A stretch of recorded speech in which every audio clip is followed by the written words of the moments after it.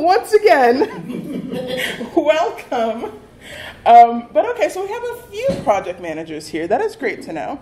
Um, I myself am a technical project manager with Agileana, so I'm here with them, and I'm also here with Drupal GovCon and Drupal for Gov. So I'm having kind of two hats at the moment. Uh, but what we're going to be discussing today is sort of how do you balance being a project manager and having to do resourcing with like being a decent human being, which is surprisingly harder than it seems. So I've been struggling with this myself, and I've learned some really important lessons. I will talk in depth about my failures, and hopefully you can learn some lessons from me as well. All right, so my agenda. What you're going to notice is the way I kind of do this session is very much teacher style. because I used to be a teacher for seven years. So we're going to start with success criteria. And basically, what that is, it's coming out of this session, you should have learned something, you should have gained some concrete knowledge and we're going to evaluate whether I did my job correctly. Hopefully, yes, but you will have success criteria on which to evaluate yourselves. Next, we're going to look at my receipts. So why should you listen to me? Why is what I'm saying matters? Where is my where are my credentials? I'm going to break those down for you. Next, we're going to define some terms. I want us all to have basically the same understanding when I say capacity or resourcing, and we were going to share this knowledge together because sometimes we have an idea of what that means, but then someone starts talking about it and we realize, oh no, we have a different definition. So we're going to have the same definition together. I will give you one real world example because we have 45 minutes and that example will take forever. And then you're actually going to practice Oh, in two groups, perfect, like three and three. So you'll practice um, with a scenario that I give you. And you're going to actually figure out how to resource this make believe project these make believe developers. So you will really put it into practice. And last but not least, we'll have a closing, and that's pretty much going to be the entire time. So, be, oh, there we go. Before we dive in, if any of you looked online, you'll note that this is a certification class. What? Yes, okay. So, very excited to announce that upon completion of this session, you will get a brand spanking certificate. It is real. I'm so excited about it. Um, but it is from Agileana and Drupal for Gov, and it is one hour toward ways of working if you are going after a PMP. So you need to have certain hours for three different things to get the PMP or renew it. This is one hour toward that. Very exciting for me. Okay, now we're going to dive in. Our success criteria. There are really three things that I want you to take away from this. The first is how to make empathy led decisions and kind of how to work with your team to make these decisions. That's going to be the first thing I really want you to learn. The second is capacity efficiency and probability, and using all of those together. So, how do we use capacity planning um, with efficiency? How do we use probability to give our clients an actual date when things are done instead of, hey, I need it by April 15th? Okay, we'll make it happen. Because that's like very, very bad to say, and I've done that myself. And I've learned, hey, we have about a 50% probability of actually getting that to you by April 15th. Oh, okay. But we can deprioritize these items and get it to you by April 15th, but just know, like, it's going to affect the timeline. Oh, you know what? I don't need that by April 15th. Just get it to me whenever you get it to me. And that's a much easier conversation to have based on probability. Last but not least, know your team and ask the right questions. This is something I'm still like getting to do. Um, asking the right questions is one of the hardest things I think you'll do in project management. Um, you don't know what you don't know, right? So there's no like question or list of questions I can give you that you should ask automatically when you go into a project, but it's how you're thinking about things that I'm going to try and instill in you. How do you walk into a project, take the lay of the land, and then figure out the right questions to ask based on who's in that room? That's what I'm hoping you'll get out of it, but there is like no hard and fast list that I can present, unfortunately. I wish there was. That would be very useful for me. But this is what I want you to get out of it. how to make empathy led decisions, how to use capacity, probability, and efficiency, and then how to know your team and ask the right questions. And by the end of this, I hope that you will have gathered these three things and have an understanding of them. So, my receipts. I have a lot of certifications, which all basically do the same thing. But I have a certified Scrum Master, certified product owner, uh, SAFe um, certified Scrum Master. Uh, I have all of my teaching certificates, which are now useless, but they took so long to get. Um, so excitingly, I can teach in Hawaii, Maryland, um, and then I also have a bunch of international baccalaureates. And the reason I'm doing this is because, listen to me, because this was my job for seven years, and also I come with some really cool credentials. What you'll notice is I do not have my PMP, because it takes forever to get your PMP. So I'm working toward it, but it is just taking way too long. Uh, but this session actually helps me because I get one hour toward getting my PMP by doing this as well. So two birds, one stone. Now, our shared terms. Resourcing. Resourcing is, and I'm just going to read it. Actually, no, I'm not going to read it off. Can someone read it off for me? I'm going to be a teacher right now. Who would like to raise their hand and read me the definition? Slash, I will just call on someone. Thank you, Kirsten, yes. Yes. Resourcing is identifying, allocating, and managing the necessary team members to complete a project successfully. Well done. So, now we all know when I say resourcing, this is what I am referring to. All right, efficiency. Bernardo, thank you so much. Sure. The best use of time, money, materials, and team members to complete the project while max- minimizing waste and maximizing productivity. Well done, thank you so much. Um, empathy, sir in the gray jacket. The ability to understand and share the feelings, perspectives, and experiences of others. Thank you so much, Chris. And I realized I did not have my badge on. My name's Nina. Anyone had that question? Um, flow, sir in the checkered shirt. Smooth, uninterrupted progression of work from start to finish. Excellent. And capacity, sir in the gray shirt.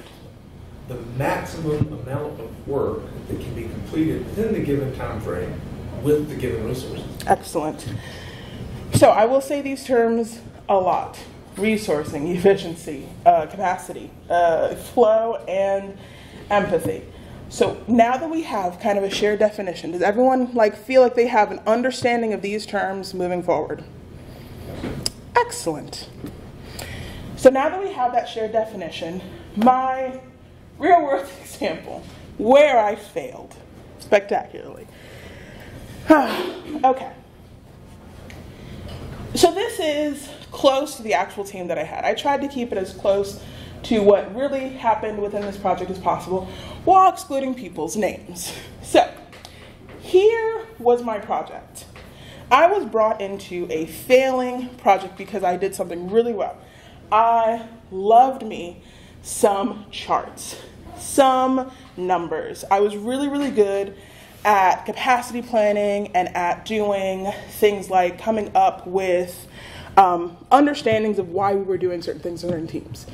So I did a lot of spreadsheets. Ooh, I became a fan of Excel. And I did a lot of reporting. So my boss said, You know, you're super good at that. I really want you to come and try and figure out what's going on with this team. And he gave me a lot of information right off the bat.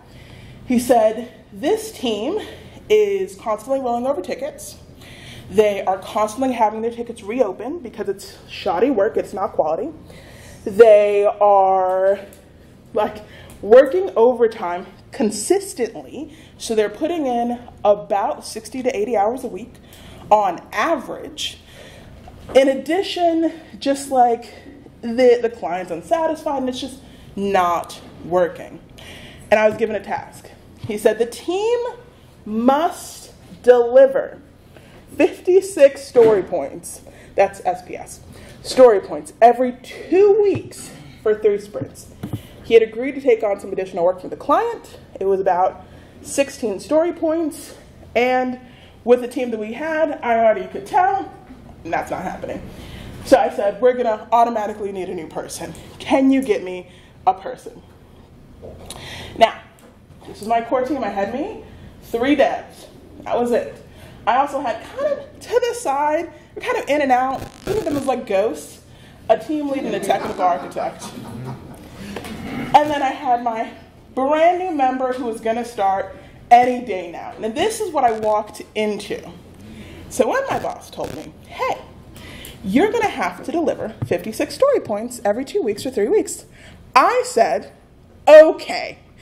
And that's when I first fucked up. You know, like, that's knowing nothing. I just said okay. And I've learned never to do that. That was my first mistake. So, I learned a very valuable lesson that day. I learned how to ask questions. What I didn't do previously is I didn't check in with any of my team members to evaluate their mental health or just how they were doing. You know, they're working 60 to 80 hours. Everyone's burned out. Well, like, what does that mean? What does that look like? Checking with people. Didn't do that. And no real clue what each individual person's workload was. I was like, we're a team. Together we do 56 story points. Well, if anyone's been on a team, it's not always the case. One member might do 20 of those story points. Another member might do, you know, 20 more of those story points. And then you'll just have someone kind of off to the side delivering three story points, you know, hoping no one sees him. And then the work just doesn't get done, right? And you're constantly rolling over. So I had no clue what anyone's actual workload was. I also had no clue what anyone's actual like job was. They were devs. Okay, cool. So in my brain, I was just like, oh, they're full stack. no, they weren't. So I didn't know what they didn't know, and I didn't know what they did know. I had a knowledge, a huge knowledge gap, in fact. I also had no clue what the actual work we were doing was. I was just kind of brought in to fix the team without having any understanding of what the project was. Were we delivering to the client? Who knows? It doesn't matter. You're just supposed to fix the team. Okay, I guess. So, there was that. I also didn't actually know anyone. I had not worked with these people before. So I didn't know, you know, so and so's birthday is next week. Like, oh, heck, happy birthday. yeah. I had no clue about any of them. And last, I didn't know there were members of my team on other projects. They were all balancing multiple things, which I just did not know because, again, I went in there and I said the worst word you can possibly say okay, knowing nothing. Valuable lesson I learned. ask questions. But not only ask questions, ask the right questions. So I started by asking these three questions, which were fine. Right? What are we doing? Well, we are uh, migrating a site. Okay. What kind of migration are we doing? Well, it's a Drupal 7 to Drupal 10 migration. Okay, I, I understand that. Okay, and it's about four sites. Okay, so four sites migrating Drupal 7 to Drupal 10. Got it. Makes sense. So where, where is this work taking place, right? Is it Jira? Is it like Bitbucket? Like, is it the client server? Like, where is this work being done? Do I have visibility to that? So ask those questions. And then when, which to me, as project manager, is like the least important question, even though many people say it's the most important. When you go into a project, you kind of know your end date, right? It's pretty much set in stone when you first do an RFP or proposal to a client. We're going to have it done by June 20th. It, it's more or less immovable. It is what it is. So, to me, it's the least important question because you often go in knowing what it is anyway. When are our sprints? When do we need the work done? Sure. I didn't ask who was going to do this work, which I learned the hard way. Or, okay, so if so and so is doing the work, what's their background? Do they have the skills to be able to do this work? Do they need to take training? Do I need to get them training to be able to do it successfully? We're using Storybook. Do our developers know how to use Storybook? Does the new person that's coming onto the team know how to use Storybook? No. The answer was no. So, how are we doing any of this? Is it through uh, relative sizing, right? Are we doing like hours? How is this working? Then how are we tracking this work? How are we evaluating whether it's successful or not? What is our definition of done? What is our acceptance criteria? How is any of this happening? And then why? And my team took almost eight months to answer the why, which is crazy, I know. But their answer when I asked them, well, why are we doing this work, was inevitably because the client wants it done. Okay, but like, why are you doing this work? Because I need a paycheck. Right, okay, no, I, I like I know those basic ones, but like, why is it important that this work gets done? Why does it matter? What, like, who is it impacting? All of these different things. My my team couldn't answer that for a long time. So that told me there was no buy-in. They didn't care. If you don't care about something, you're not going to put a lot of effort into it. So why were tickets getting reopened? Because they were half-assed. I mean, that's kind of one of the reasons. Because they were stressed, because they just wanted it done, because there wasn't a lot of care put into it. And also, like, it didn't matter because they couldn't answer why it mattered. So then, I started to ask these questions. And I asked many questions, and they got really, really annoyed with all my questions. But I figured out that there was me, and then there was a senior front end dev. Oh my goodness, fantastic. Okay, so you do front end dev stuff. So you should be able to do anything that's front end. Well, I still have to learn some things. Okay, fine. What do you need to learn? Let me get you that training. And then I learned I have a senior full stack dev. Okay, fantastic. So you should be able to do a couple of different things. And I also learned that they were a uh, technical architect in a previous role. Oh, even better, you can help us refine tickets and set some implementation details. Perfect. Again, making assumptions. And then I also learned we had a back-end dev. Okay, awesome. Just back-end, nothing else. And our new team member, despite the fact that I believed they were going to be mid to senior, came in at a junior level. A junior developer expected to deliver 16 story points in two weeks, having no idea what Storybook was or what the project we were working on was or anything like that. We set him up for failure, 100%. And he didn't last long, be honest with that. Um, and I think in large part that's due to me not asking the right questions, um, me not vetting this person, but also the team not having buy in to who is coming onto the team. When you don't have the team like actively working to say, here's who we need to make our lives easier, then just there's another person doing work. It doesn't really matter. So that was the other thing I learned. Now, team lead and architect are still there, just kind of floating again like ghosts in the background. They were helping, don't get me wrong, but things were still not quite working the way they needed to work. And so, I don't know if you've experienced this, but you might tell your team leader, hey, I need help with this, right? My, my, my uh, back end dev doesn't quite know how to do this or to this degree. Could you help them? And I learned that wasn't quite the right approach I should have taken. Probably should have done pair programming. Because they would blow in after having, you know, context switch like eight times in a day. They'd have 10 minutes on their calendar, come in, randomly spout a bunch of crap, and then just leave. Like, just ghost out of it. And then they would be very upset when, you know, a few days later it wasn't done to their very specific specifications. And I learned through trial and error that if someone doesn't have the time uh, to dedicate, then they're also not going to do it in a way that's understandable.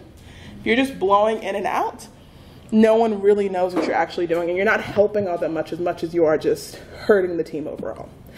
Learn that the hard way. So I started asking the right questions, but I still had to deliver these 56 story points. I was feeling so good about it. Like, honestly, I was like on the right track. I'd asked all these questions. I was kind of trying to get people um, the knowledge that they needed. I knew what everyone's role was. I was assigning, I was assigning tickets. I was assigning tickets out. So I felt like we could absolutely do this. We could do this. Anyone want to guess how many story points we delivered? Two? 12. 23, 12? 23. 23? One. We delivered 86. I was wrong, it was actually 86. Delivered 86. You're probably going, I did say seven. No, I looked back at my notes, it was 86. I took notes of this project. It was 86. And now you're like, that's insane. No, remember when I first told you, a lot of rollover. so at least 20 of these tickets were just rollover. But that still doesn't account for an additional 10 that were worked on. What were those 10? Oh, they were bug tickets because all of our stuff was super buggy. So we had 30 tickets, no, 20 tickets of rollover, 10 tickets that were buggy. We kind of did most of the work, but the client was also doing something that I didn't realize because it wasn't my board. They were putting in tickets randomly and then pulling out tickets that I had been worked on randomly. So I was getting to like, you know, three days before the sprint ended, and why was there a five story point ticket in the sprint? I don't remember seeing that. Like at the start, it's not my board. I didn't set those expectations with the client. And so I learned another super valuable lesson. Oh, all the lessons I learned. So I go back to this because what I didn't do is I wasn't really doing proper, useful capacity planning, and I wasn't using efficiency in my capacity planning, and I wasn't using probability to discuss anything with the client. They were giving me dates, and I was just saying we would meet them. Useless, absolutely wasteful. Would not recommend. I also learned more things. That team lead, oh, he was full time, but he had five extra projects. Absolutely useless. That uh, technical architect was full time with eight extra projects. Absolutely useless. My me was full time with two other projects. I wasn't as useless as I probably could have been, but like I was still shuffling between things. I had three monitors, and I thought incorrectly. Um, I have four now, but but I thought incorrectly that uh, it's one project per monitor, right? And I could just literally switch, and then my brain would just naturally know how to do that. You know, unrealistic completely. I had my senior front end dev, who was on another project. Again, did not know this. My senior full stack dev was actually part time. I did not learn this until the second sprint. So a whole month had passed of me just being like, God, he is never online. Got to talk to him about that. And then my backend dev was on another project. So if you're looking at this, no one on the team was fully allocated to this client. Not a single team member. A client that we have to deliver 56 story points to. And yes, it, it's weird that we're delivering story points, part of the contract, can do nothing about that. But a client who we have to deliver like 56 story points doesn't have a single dedicated resource. I didn't know that until I again asked the questions and then started to capacity plan. But that new resource was not only full time, he was new to the company because he was from, he had just started. I just did not realize he had just started. So he was also being onboarded at the exact same time. All these things I found out later. So, my first attempt at capacity, ooh, no, efficiency. Oh, I was way ahead of myself. Not way ahead. ahead. So I started using efficiency formulas because I wanted to understand, okay, so like what, what's going on? Like what is our actual efficiency? Most of our team was scoring like 50%. they were 50% efficient. Their 40 hours a week was often 80, right? 60. They were just not being efficient. Well, they couldn't be. They were constantly context switching, going between projects, not to mention just, you know, doing random stuff that the company asked for. So they weren't efficient. And I learned that because I was doing math. Super exciting. But then I started to do a little bit of research because I really wanted to understand like the cost of not having a dedicated resource. And so I was like, I wonder, I wonder if when someone's on another project, it's not 50-50. Because like I'm on another project and I for sure know it's not 50-50. I know that's not right. But what I learned from the, this is actually from, I believe it's Cambridge, but you can find this um, chart many places, it's been done a few times, is that when someone is fully dedicated to a project, 100%, there is no context switching, they are yours, right? You're not gonna lose that time. Those 40 hours can often be 40 hours, maybe 38 or like 35 with lunch and a few breaks during the week. But like, it's dedicated. You're gonna get the time out of it. Not gonna have a, contact, a lot of context switching, and you can probably assign them like the actual number of story points they are able to do. Versus someone who has two projects. It's not a 50-50 split. It's like a 40-40 split because they now have to switch their brain. And surprisingly enough, it's not as easy as just turning your neck to a different screen. So I lost 20% automatically just because you're on another project. You're on three projects, ooh, I lost 40%. And then it just continued to go down because you're constantly switching. Because as if you ever worked, worked for a, small company, even though you might be a front end dev, if you go to another project, you are the project manager, which is a completely different skill set. So it wasn't that my senior front end dev um, had another project. It was that on that other project, they were the lead, which is different. They were helping juniors. They were uh, refining tickets. They were trying to get their certifications to be able to pass on their knowledge. It was a very different effort and skill set that they needed for that other project than mine. So I learned all these things. And then I started to try and incorporate that in my first ever attempt at capacity planning. Now, this isn't mine, but I stole this and basically used the same thing. And I was so shocked when I saw this. I was like, oh my God, it's been so many years. Oof, I love a good color coding. So I was like, this is going to work perfectly. Um, what you'll notice is it's hella busy. It's just super busy. It's not giving really any information that's going to help with understanding people's actual allocation of the work they're doing.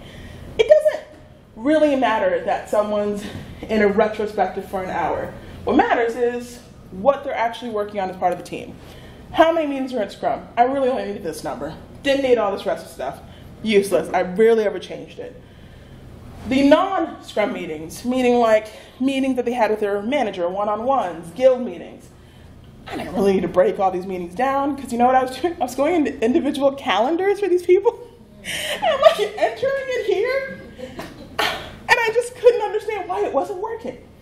And then the subtotal of non-repeating, PTO on holidays. Again, didn't need all this extra information, but I at least knew I needed this individual factor, which really was that efficiency number. And I looked at what was the difference. So mine were a little bit more rounded. It was like, okay, I know they're on another project. They're not going to be able to do 20% automatically. I'm going to cancel that out, right?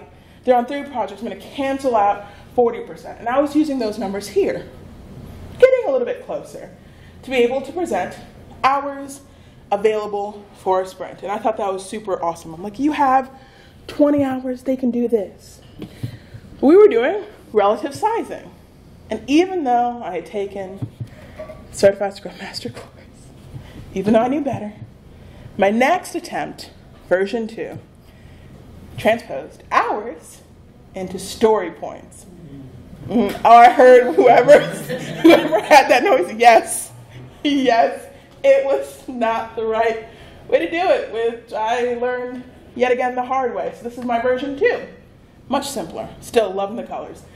And again, this was an example, but I do not recreate a wheel. I find stuff and then I just kind of tweak it to work for me. This is more or less what I had. And so I changed it slightly. I added a location because not all of my developers were in the US. Not all of them were on the eastern coast. Some of them, uh, one of them was in Ukraine, which I'm going to talk about later because that matters to empathy. Uh, a couple of them were in India. And like that mattered with when they were able to respond. So when I was messaging them at 3 p.m. on a Monday, I was disturbing their sleep. So I stopped doing that. But I had to constantly remind myself where they were so that I didn't interfere with them. And I tried to set those guardrails for myself. I also took away that here's when they're not available and looked at when they actually are available. We have 80% of their time in this project, or we have 60%, or something like that. And then, incorrectly, I started to equate hours and story points. And now I did this in what I thought was a really unique and super cool way. I looked at the hours they worked in a week and they clocked. And then I looked at how many story points they actually got done. And I averaged that over 30 sprints, and then I was like, oh, okay. So one story point should take this developer about 3.33 hours. that's what I did. And like, that's not how you're supposed to do it because it's totally useless. But that's how I was doing it. This is my version two. And then, sprint ended, had delivered 56 story points. Yet again, we rolled over. Yet again, we just did not end up completing our 56. We ended up with something like 70, less than the 86 before, but still way too high. Again, a lot of bug tickets. So I thought again, okay, there's got to be an easier way to do this. And I'm a big fan of, again, not recreating the wheel. And so I tried to do a little bit of research into programs because if anyone's used a Google Sheet or like Excel sheet, at a certain point, you lose track of your formulas because you've looked at it way too many times. And it gets super messy. And if anyone touches it, God forbid someone had actually touched one of my sheets, I would I was livid. It's like you messed up everything. I can't tell where anything is now. So I was like, that's stressing me out. That's not actually what I need. And I found Actionable Agile. This is not a sponsored post, I just really like it. But this gave me an understanding of their throughput for a sprint. And then it gave me an understanding with the Monte Carlo, this is just an example one, of like the work they were doing by specific dates. So I could tell my client, we get about 90, uh, we can do this project or this task by, you know, like the third of whatever, um, and you have about a 94% chance of it getting done by that time. 100%, like 94% chance, 100%, I almost said it. And that's what I tried to communicate with them. I'm like, here is the data, and Actionable, uh, Actionable Agile has a bunch of different data points. And I would show this at the start of every single daily stand up. Like, this is what we've done. These are our metrics. This is not anyone's feelings. This is not my very jangy Excel spreadsheet. This is the data that we are getting based on the sprints. And the client would start seeing these. And so then they inevitably started asking, well, can we have this delivered by X date? All I would do is I would go here, I would click on that date, I would read them, I would literally just say, well, data tells me it's about 70%, so I can give you 70% certainty. And that relationship changed for the client and I. They were able to actually see in real time sort of what was going on in the work that was being done. And this also gave my developers a way to speak to their managers, which they didn't always have. So it started to become really useful. And this, if anyone, I like, I highly recommend Actionable Agile. You can get the extension on Jira. It was very useful for me to use. So I had a little bit of a better way of doing it, but I was missing a key component, which is that people are people. Does anyone know who this is? By the way, no, it's Depeche Mode. it's okay. I'm old at heart, but. So I was missing the fundamental concept, which is that people are people, right? I can have all the charts in the world that I want, but I can't stop one someone's child getting sick and them having to take off work. I I can't anticipate um, someone's mother falling and now they are suddenly having to deal with elder care. And I didn't know any of these things because I didn't know my team still. I was viewing my team through data, which is one way of doing it, but it is not the only way of doing it. And this is where we kind of go into empathy led decision making. My new junior dev, who was full time and new to the country, was in Ukraine. And wow, had I known that, I think a lot of our interactions would have been different. He constantly had issues with his internet. I could not understand that. He seemed to be worried at random times, which I just didn't understand. He never wanted to have his video on because he didn't feel comfortable with where he was physically. I knew none of that until I started to get to know my team. And then I was able to make a couple of decisions based off of this information. Another one, another team member that senior front end dev, they were moving, and it was about to be a festival called Diwali, which is a huge festival in India. They were going to take time off. They're already dealing with some other things in their life. I had another one who was the part timer. There were layoffs at his job. Like, that was just weighing on his mind all the time. And he had three kids who were constantly running in and out because of the way his uh, house was built. So he had a station, but sometimes the kids would just come. They didn't get to see their, you know, dad all day. I had another one who, again, there was elder care. It's just burned out. It was burned out. And I didn't know a lot of these things until I started having conversations and one on ones. And what I realized is that I could make decisions based on data alone. I'd been doing it for a while. But if I did that, I was missing a huge data set. And I was just missing a lot of context that I needed. So, instead of me being the project manager and making all the decisions, which is what had been happening, I switched my model to be a consensus driven model. Yes, I was absolutely still accountable for this. I was responsible, but there needed to be buy in. So, we started freezing certain times, not just a development freeze, but like we are not going to do X during this time because no one's going to be here. No one works during Christmas, right? I'm not even going to schedule anything on that time. That's useless, right? Or I know that three of my developers are going to be at a thing. We're not even going to we're not going to do anything. No calls are going to happen at that time. We started looking at our calendar critically and scheduling things based on really what was going on. We also started to be more transparent. And this was hard because project managers are often kind of seen as that was like gatekeepers, talking heads, kind of the stakeholders. So that transparency aspect, aspect was really, really hard to get to. Um, it was harder for them to open up to me, and it was hard for me to like keep their trust because I had to do a balancing act between being real with my stakeholders and being real with my team, and that's hard. Don't have a good like way to do that besides try and be transparent as possible, but also within the realm of like realism. Oh my goodness, time's moving so fast. Oh, I'm not gonna get my scenario. I'm so sad. Um, the language we used also changed. We stopped using words like burnout or burn hot. No one wants to burn.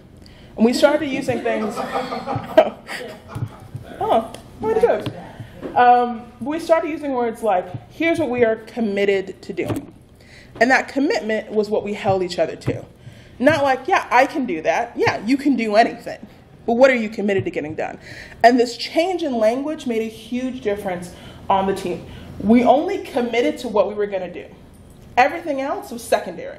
We didn't commit to it. If it happened, great. If it didn't, that's okay. But we got our commitments done. Next, we made a contract that we held everyone accountable for, even me, which I got called out a few times. And we made this contract together. Not every team does a team contract. I highly encourage it. Last but not least, we stopped doing um, we stopped doing client-driven dates and started doing probability. So the client said, "I need it by April 29th." We would say, "Okay, well, it's about a 60% probability of getting done there with our current workload." Oh, well, okay. Well, now if we change some things, here's the probability of that. So we did probability based with the client. We stopped saying okay, we gave them numbers. Last but not least, we started doing empathy. So people's lives change, right? Again, we had elder care. So sometimes he would, we had a developer who just had to be away from his desk to go and help his mother, period. We accepted that. We took that on. We changed certain things. We allowed him that space we allowed him slightly different working hours. And I worked with my boss to make this happen as well. So it wasn't just like the team, it was the team and the owner and a couple of other people making this happen. We started looking at driving our work through empathy, and it changed significantly. But I'm not going to talk about the change yet because uh, I'm so upset that it's like 45. I really thought I was pacing myself well.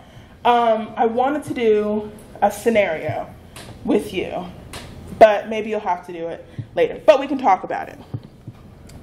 So, in practice, I wanted this scenario, which is that we had a project that was a Drupal migration, it's 12 months, it's May 15th is when we start. We're gonna migrate four sites, and we're post-discovery, first three, you know, sprints are done.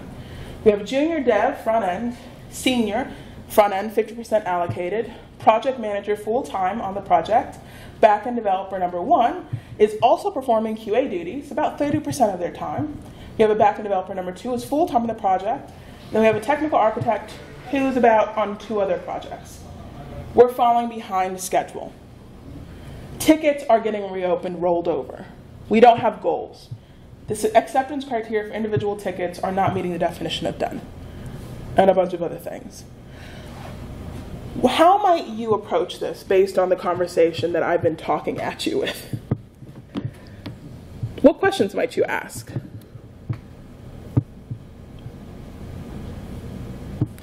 I mean, I, I start with asking developers, like, why do you think, uh, you know, we're falling behind? I, I, I find asking the team, they have very clear perspectives oftentimes. Absolutely. And I like that, asking the team, not asking your technical architect or individuals, but asking everyone together. What else might you do? I, I would be asking who's got the experience, who's the subject matter expert in, do- A, doing the migrations, but also maybe writing the automated tests so you can address the, the- the bounce backs and, and the bugs, Mhm. those kinds of things. Exactly. At Agileana, we call that right person, right seat. And we do that a lot. We look at is this the right person to be in this role on this team right now? Yeah. Anyone else? What other questions might you ask? I think you know, you know you have allocation of resources, but also what's the practical allocation? You know, if they're on another project, they're in crunch time, and maybe they don't get to work on the project. What else is going on in their lives as well? You mm-hmm. know, the vacation, the holidays, and Yep. what your true capacity is. Exactly. Well done. The true capacity, that is something you will, no matter what project you go to, we're going to struggle with it. Yeah, you're absolutely right. Yeah, to tie to that, I think Hmm. when I think of team morale, I also think of like maybe some one-on-ones need to happen, right? Because it's great to have a team conversation, but you never know what a person is facing in their personal Mhm. lives or things like that. And I will be trying to dig in and figure out why the team's morale is going down. Right. That's exactly it. If you're not happy, you definitely don't do good work. Mm-hmm. Yeah. Well done. Yeah.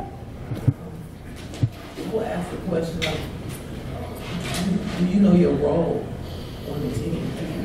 Yep. You know what it is that we expect out of you? Mhm. And the time expectation of the role, because a lot of times, um, as, if you're not the one that's conducting or you're not the supervision, as a person that's working for someone, Yep. sometimes you get confused on what your roles are. You Mhm. don't know well, should I ask? Because I don't want to seem like I don't know what I'm doing, so they might be intimidated. So Yeah. the senior person is asking, you know, I think that, that kind of opens up a lot of conversation. Oh, I absolutely agree. I was on a project where they didn't know their roles. Yeah. I was told their roles, and then I had to tell them their roles, and it was a really awkward conversation to have. So yeah, you're absolutely right. In addition to that, too, you hmm. have to look, you have to look at the culture. Do you have a culture of, of sharing a pair program? Yep. Uh, You know, holding each other accountable without pointing fingers, you know, that, that sort of stuff. Because if you don't have the, the right culture, none of the rest of it matters. You're absolutely right. Culture matters largely in a company, and what you can do to you know work within that culture or make some changes for it. I wish we had more time, and I wish I had looked at the clock more, but but um, we've reached the end. So my final closing is that I hope you are able to take away how to make empathy-led decisions, the understanding your team. I hope you will consider using probability with a client next time instead of agreeing to a date. I hope that you're going to change your capacity. Versions are great. I change them all the time depending on the team. And that you're looking at the efficiency as not being a bad thing, which I think it does tend to be, but being something useful for understanding what they're actually able to do on a team. Last, understanding your team is incredibly important and asking the right questions in that scenario. And I hope you were able to get these three and start to sort of think about these critically. And last but not least, if you want to get your certificate, all I need is your first name and last name and email. You can scan it right there if you don't have a phone for whatever reason. I can also just give you the, the, the URL. They'll just come and type your email and send it to you. But type this in, I will have it to you by the end of the day. And yeah, you'll get a fancy new certificate. Woo, woo, woo, woo. All right, and I mean, this is this is it. Thank you all so much.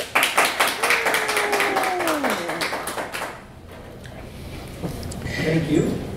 Yeah, it's my only second time doing a presentation. Great. Thank you so much. Oh, please, she was a teacher. I know, but like, but it's different. Lots of presentations. It's well, like my like tech conference, and it's different. I like. I think I got used to like 90 minutes. 'cause, God, 45 minutes went so fast.